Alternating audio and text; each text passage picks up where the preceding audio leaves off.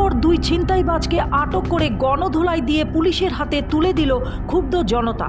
যে কাজ পুলিশে করার কথা, সে কাজ করে দেখাচ্ছে জনতা।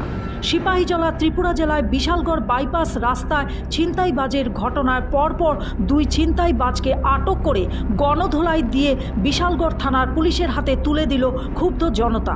ধৃত ছিনতাইবাজের নাম শ্যামল শীল। জানা যায়, সন্ধ্যা হতেই বিশালগড় বাইপাস রাস্তা দিয়ে গাড়ি বাইক যাওয়ার সময় ছিনতাইবাজরা গাড়ি, বাইক আটকে ছিনতাই কাণ্ড সংঘটিত করে।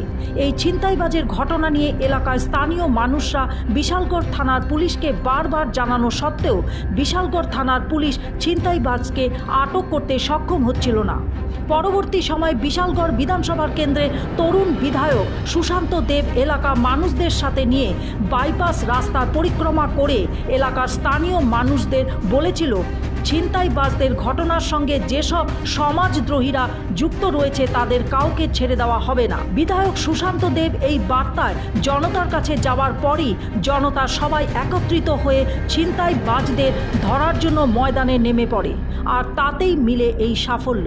ঘটনা হয়েছে আজকে বিগত অনেক দিন ধরিয়া আমরা লকডাউন বাজার টিকা ধরিয়া এক বাইপাসের সব মানে রাস্তা মাথা অবধি অনেক দিন মানে হাইজাক হইতাছে।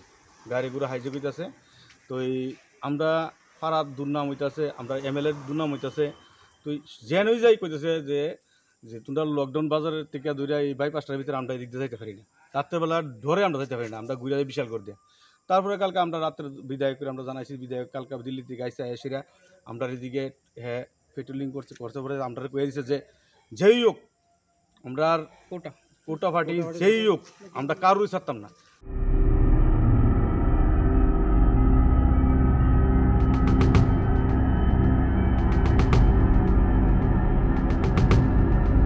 ত্রিপুরা থেকে Bikram কর্মকারের report U Bangla. U Bangla TV হৃদয় ছুঁয়ে যায়।